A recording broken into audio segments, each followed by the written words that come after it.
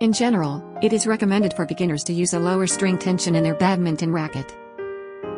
This is because lower string tension allows for a larger sweet spot and a more forgiving feel, which can make it easier for beginners to generate power and control their shots.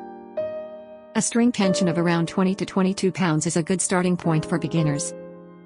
It's important to note that the optimal string tension will depend on an individual's playing style and level of skill. It is also a good idea to consult with a coach or a more experienced player for more personalized advice on string tension. Stay tuned for more videos on tips for badminton and don't forget to smash the subscribe button.